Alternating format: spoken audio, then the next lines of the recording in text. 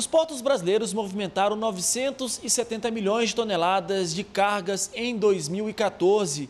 40 milhões a mais do que o movimentado em 2013. Açúcar, sal, fertilizantes e trigo foram os produtos mais movimentados em portos concedidos ou explorados pelo governo. Já os portos privados movimentaram principalmente combustíveis, minério de ferro e bauxita.